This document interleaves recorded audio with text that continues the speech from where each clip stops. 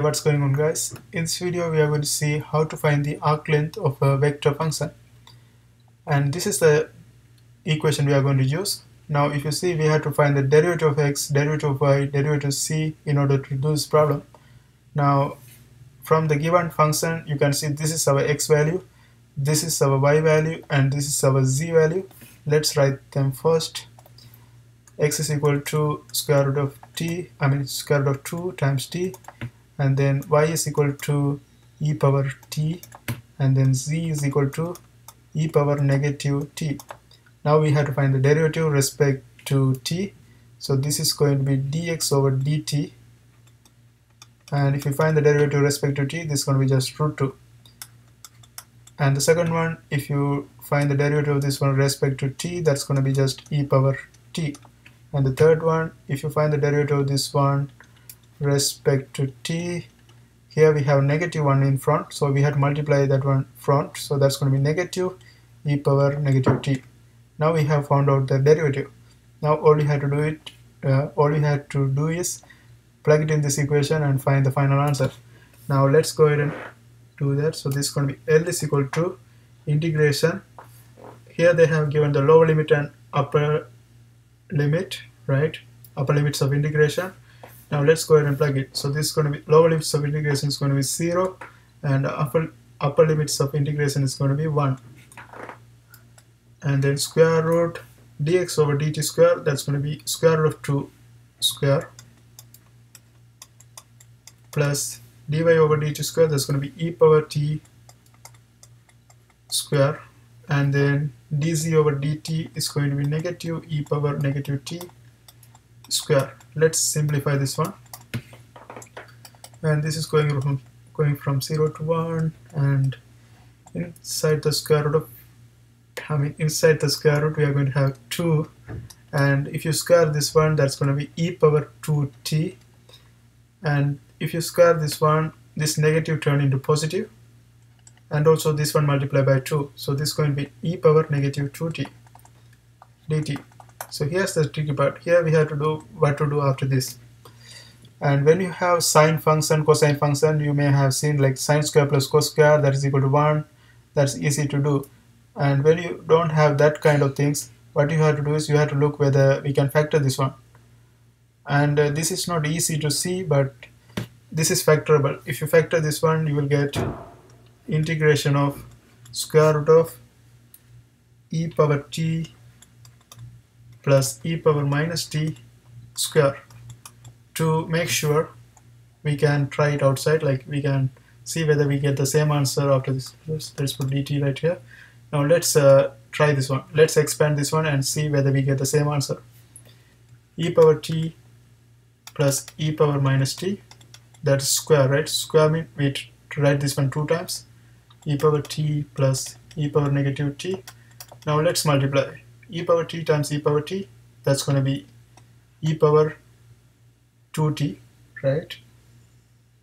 E power t e power 2t and then e power t times e power negative t. So when you multiply these powers will add. So t plus minus t that's going to be 0 so this is going to be 0 and e power negative t e power t again it's going to be 0 and e power negative t times e power negative t that's going to be e power negative 2t and if you simplify this one e power 2t and e power 0 is 1 and e power again e power 0 is 1 so this is also 1 and then here we are going to have e power negative 2t now let's come let's simplify this one. As you can see 2 plus e power 2t plus e power negative 2t so here we are getting the same uh, answer as this one right? It means this is correct factor right? Now uh, since this is a perfect square we can get rid of the square root. So the next thing is we are going to have integral. If I get rid of the square root this is going to be e power t plus also we have to put the limit right here 0 to 1 0 to 1 plus e power negative t dt. Now this is easy to integrate. So you're going to have e power t plus e power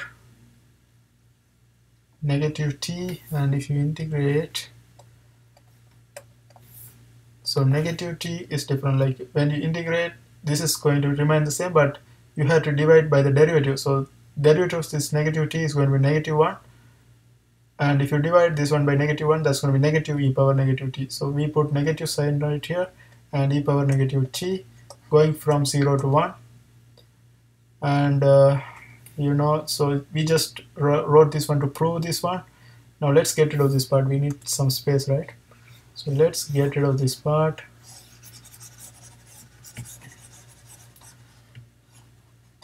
and continue right here. So let's put dt this will be dt and let's continue this one right here.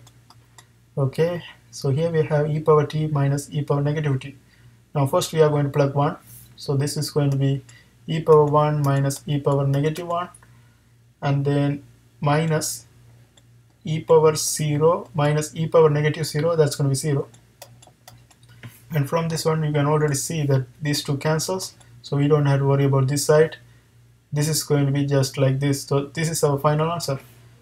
Final answer is going to be e power e minus e power negative 1 and there are many way you can write this one. Like for example if you have MCQ question and if you don't see the question uh, answer like this the this can be written as in different ways. Like e minus 1 over e.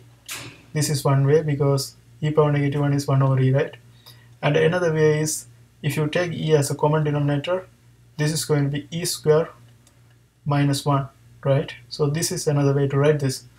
And that's how we do this kind of problems. I hope you guys find this video helpful. See you next time